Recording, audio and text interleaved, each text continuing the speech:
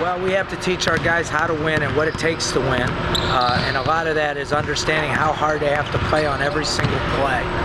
And uh, I think our young guys are starting to understand. They're certainly not ready to play a real competition in real games, but we're going to force feed it and kind of shove it down their throats, and we'll get better and better as we go.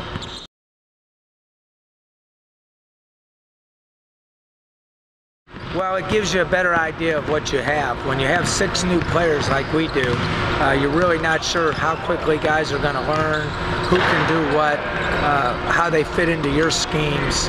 And uh, the good thing about this is we have a pretty good feel now of what each guy can do.